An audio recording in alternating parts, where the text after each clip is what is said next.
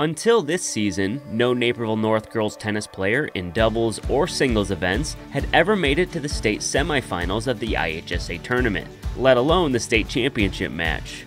This past Saturday, that all changed when Husky sophomores Brooke Coffman and Gabby Lee made school history by advancing to the doubles state championship after a win over Natalie Schoen and Abigail Lee from Deerfield in the semifinals.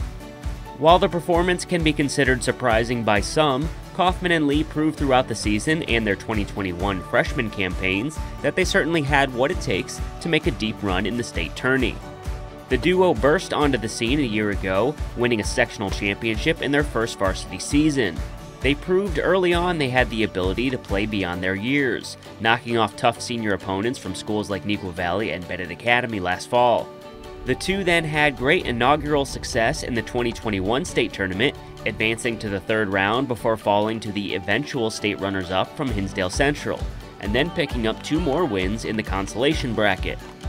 This fall, Coffman and Lee were somehow even more dominant, cruising to both the DVC and sectional championship first place finishes. Their success as a doubles pairing helped lead to tremendous team success. Naperville North won the Team DVC Championship and the Benet 2A Sectional as well. When the 2022 state tournament began, Coffman and Lee continued their strong play, advancing to the quarterfinals with little adversity, not even dropping a single game in their first two victories. A tough battle in the quarterfinals against Sofia Denizov and Alexandra Popa from Glenbrook South needed a second set tiebreaker before the Huskies advanced to the semis, making program history in the process. Before prevailing in three sets over their opponents from Deerfield, the achievement was not lost on these talented young Huskies. Honestly, I'm just really proud that we were able to get to this spot, and we, were, we worked so hard this season and last season just to get yeah, it still doesn't really feel real. It feels like, I don't know, it just feels like we're going to play tennis, but it's like the state The magical run ended in the double state championship against Isabel Chong and Lainey O'Neill from Lake Forest. Chong and O'Neill were the defending state champions from 2021 and proved that they remain the team to beat in the state of Illinois after a 6 1 6 2 win in the finals over Coffman and Lee.